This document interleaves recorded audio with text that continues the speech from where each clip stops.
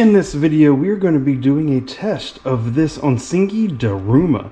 A lot of folks, this is viewer request, as I have tested other gyros, have said, I've got to test this one. They really like it. They really like how it drives.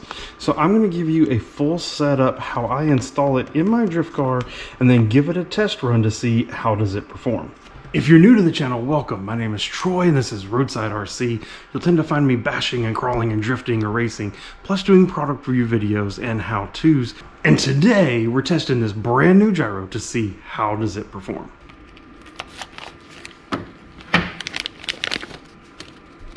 Alright, so we have the gyro itself, which I always love Onsiki stuff, the patterns that they have on there. That's really, really nice three wires coming off of it one for the servo one for channel one one for the gyro control on channel three. Then we do have our instructions here.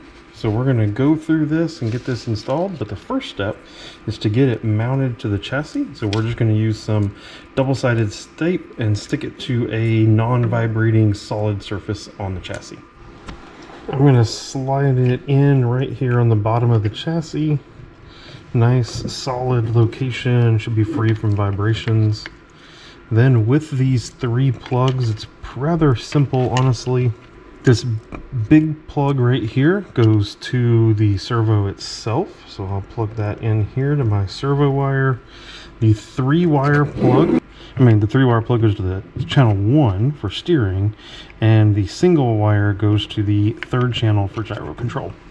Now I have my controller plugged in, and what we should see as we power this on for the first time is it gives us a blue and a red light.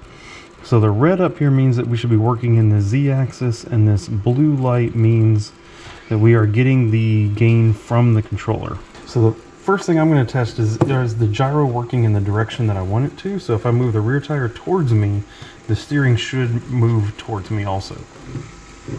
And I'm getting, oh, there it goes. Oh, you can see we're working in the wrong axis. So if I move the car this way, the gyro is not moving. But if I tilt, then the gyro works. That means we're working on the wrong axis. This gyro actually is a three-axis gyro, but it can only work at one at a time. So this red solid light means it's working in the z-axis. If I take this and I press down on this switch, it says if I hold the switch down, eventually it'll blink. And then I should be able to single press it to get it to a different axis. So now this is green. Let's see if now green works in this direction. Right, that's still not what I want. So it looks like we're going to be looking for blue. So I'm going to hold it down again until it blinks. One more time. Blue might be out. Oh, now we're working.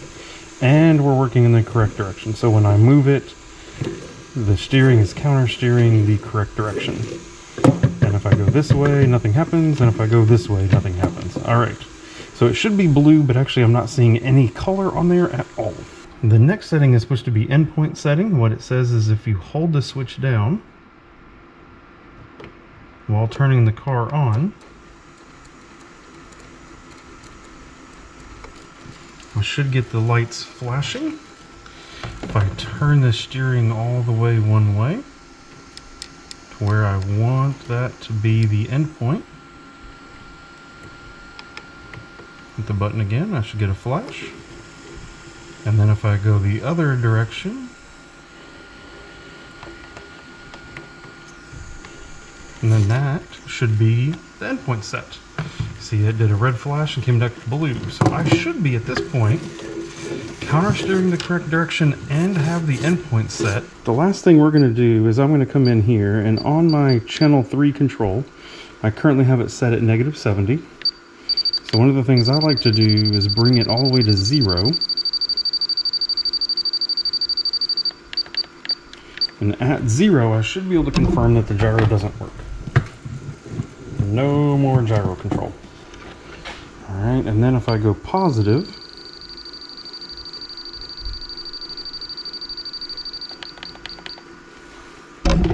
let's see what happens.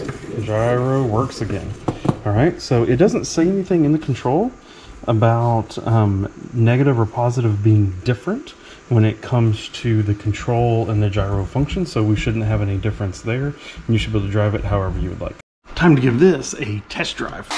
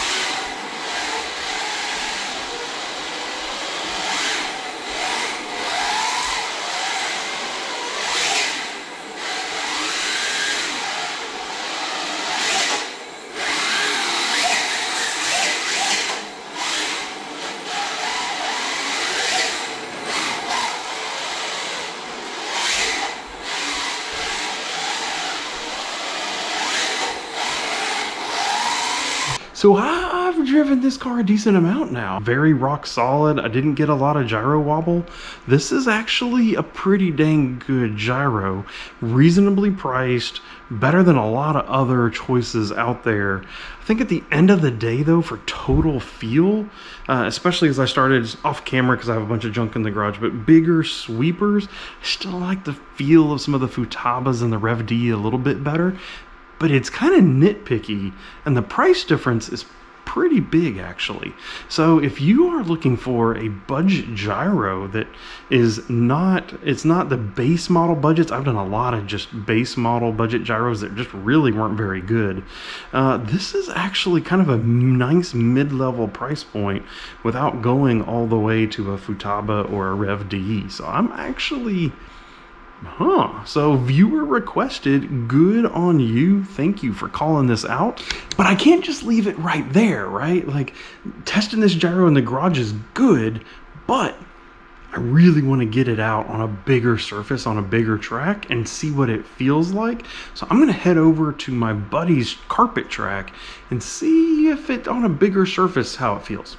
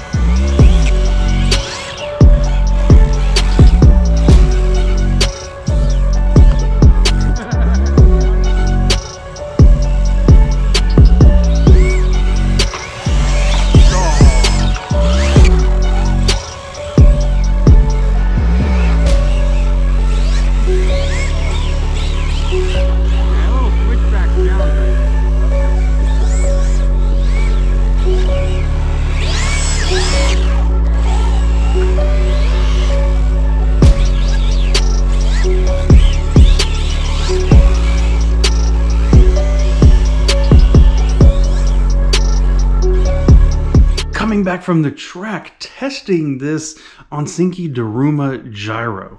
And I gotta be honest with you, it's good. It's I, I didn't expect that the Onsiki gyro would be as good as it is.